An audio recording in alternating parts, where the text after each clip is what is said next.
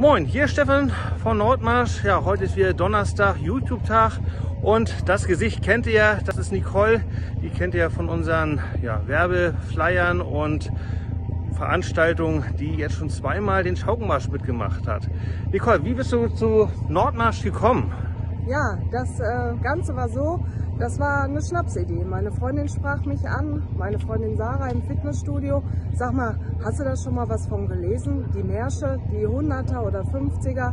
Ja, ich sag sicher, ich hatte das auch schon mal ins Auge gefasst, aber ähm, habe da halt noch nie mich so dann im Endeffekt ähm, ja, mit auseinandergesetzt.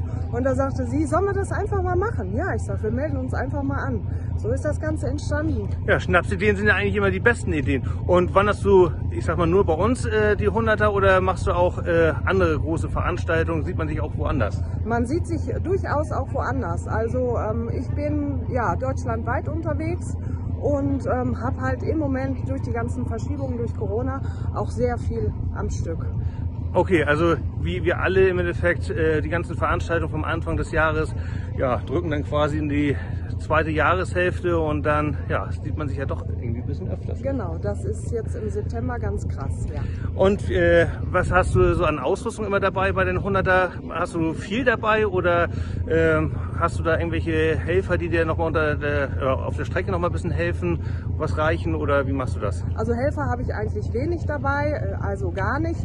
Ähm, ich habe immer alles an Bord bei mir. Es kommt immer auf die Länge der äh, Strecke an. Bei den 50ern reicht mir ein lockerer Hüftgürtel mit ähm, allem so, was man braucht. Halt äh, ein bisschen Energie dabei und das ein oder andere Pflaster und eine Powerbank ganz wichtig und das Handy darf natürlich nicht fehlen und äh, bei den großen Hundertern nehme ich dann halt den Rucksack und da ist dann je nach Übernachtung, je nach Wetter auch schon mal Wechselkleidung drin. Ja, das hört sich ja gut an. Ja, wir werden ja in den nächsten Videos auch mal äh, zeigen, was wir so dabei haben bei unseren größeren und kleineren Strecken. Ja, im Endeffekt, ich sage danke Nicole Ja, und gerne. viel Spaß gleich auf der Strecke. Ja, nächste Woche ist wieder YouTube-Tag und bis dahin viel Spaß beim Wandern. Tschüss!